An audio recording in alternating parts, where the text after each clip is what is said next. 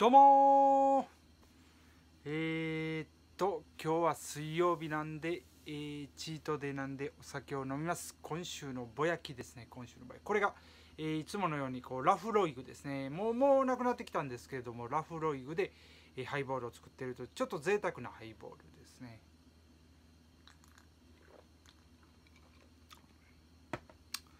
そしてこちらこちらもですね、えーえ、先週と一緒ですね、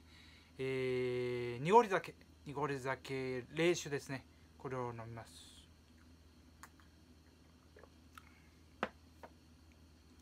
でこれが、えー、ウイスキーストレート、えー、ロッホローモンドですね、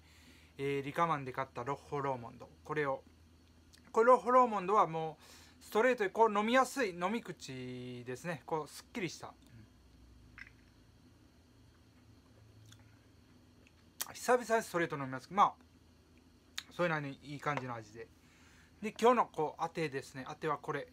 えー、梅干しとですね映ってるのかな？梅干しとらっきょと、えー、味噌にんにくということでいつもと同じようなものです。それとですねちょっとえー、ジャンクフードですね。これです、えー、ポテトチップスです。で小池屋僕好きなんでえー、小池屋のポテトチップスでちょっと食べた食べたことないやつでちょっと、えー、こんなんあるんやと思ったストロングですね。シーフードグリル。ストロング。シーフードグリル。これをまあ食べようかなというふうに思っています。うん。どうでしょうかね。えー、濃厚な食べ応え。小池屋、えー、ストロングということで。ちょっと開けてみます。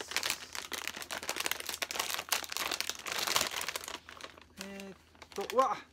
すごいこのうわこれエビのうわエビの匂い。エビの匂いがすごいしますね。えー、これこれこんな感じです。こんな感じです、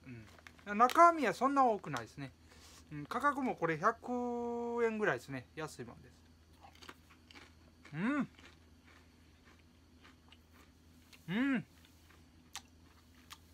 シーフードですね。シーフード。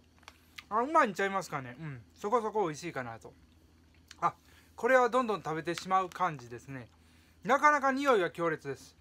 エビの匂いですね。エビの匂いがする、えー、これはまあこれでありかなというところです。で今週はですね僕の中でちょっと一区切りついたことがあってですねそれは、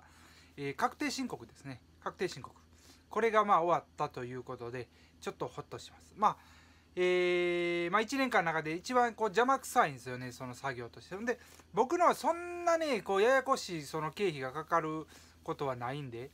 あのー、まあまあやる気になってパッとやればもう終わっちゃうもんなんですけどもと言ってもねこう1年間のレシート溜まってるやつをこう、えー、整理してこうやるんでね邪魔くさいのは邪魔くさいということで。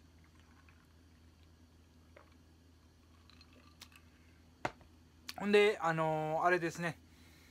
えー、僕、商工会に入ってるんで、商工会の、えー、人にですね、えー、まあ、答え合わせというか、ある程度これで合うてますかいうのをこう確認しに行ってですね、ほんで、あとはもう商工会の人が提出してくれるんで、それで終了と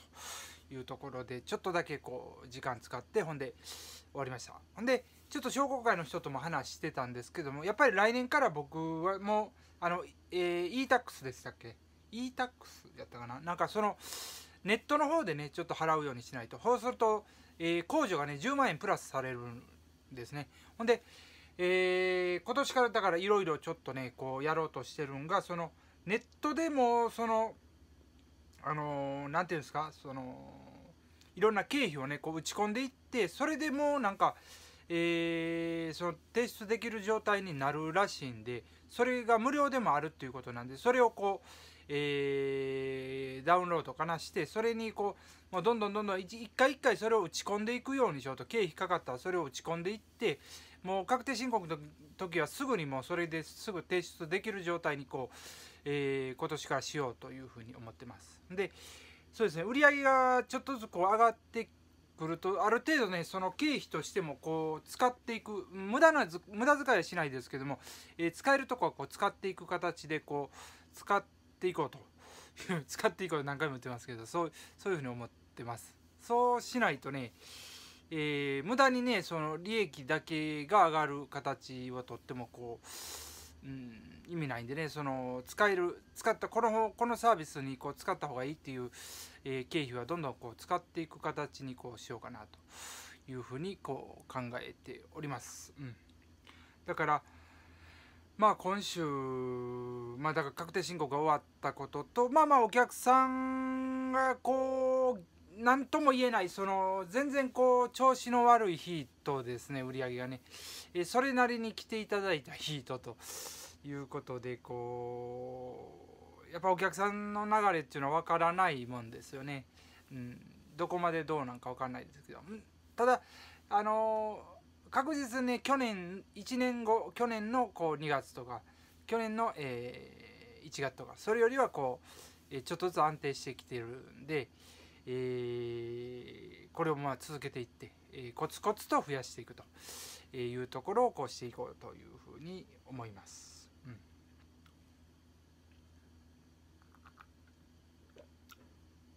まあなかなかうんなかなか簡単ではないですね。でもねその売り上げ上げていくっていうのはね、うん、これから、えー、まあ、ちょっとずつですね、えー、上げていって、うん。まあ、ちょっとずつそうですね、えー、リピーターさんにもこうねちょっと喜んでいただいてる形はあると思うんでですね、えもっともっとこう腕磨いてね、えどんどん頑張っていって。ほんでうーんえーまあ、喜んでもらえる人をこう増やす、えー、そうですね、まあ、安定安定感プラスこう向上していく上達していく形をとっていってうん将来性も感じてもらえるような形にこうしていこうかなというふうに思います。まあ今週まあまあねそのこうよっしゃーっていうようなとこではなかったですけどね。うんで体重に関してはね、えー、体重あまりこう順調にこうダイエットができてないんでですね、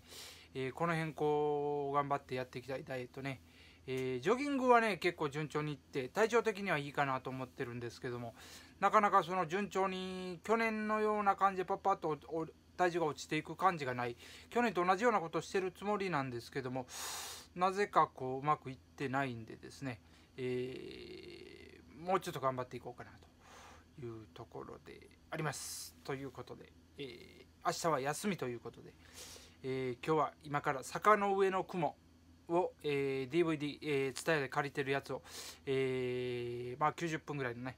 ドラマなんですけどそれを見てこうお酒を飲みながら見てこう楽しんでいってで、えー、そのままバタンキューして、えー、明日、えー、また活動的に動こうかなとえー、休日ですけども持っております。ということで今日は、